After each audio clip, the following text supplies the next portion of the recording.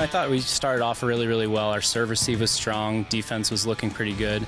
Uh, Alabama had our number at the net um, with the middles, but I think we did a lot of really good things. Um, saw a lot of what we've been training in preseason, and I was pretty happy with the overall result.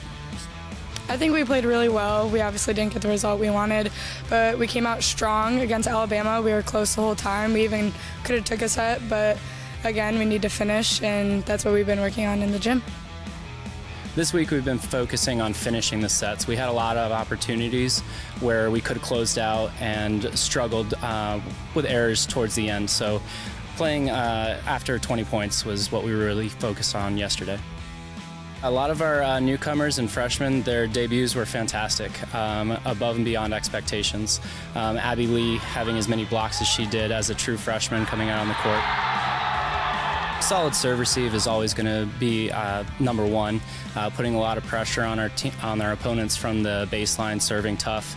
Um, and just really keeping our offense going. Uh, Jenna and I right now are doing a two-person serve receive, which I've never done personally, but I think we're doing really well on it right now. Yeah, we're young, but it's cool to show people that we're not people to mess around with, and we're just like everybody else that they're going to play.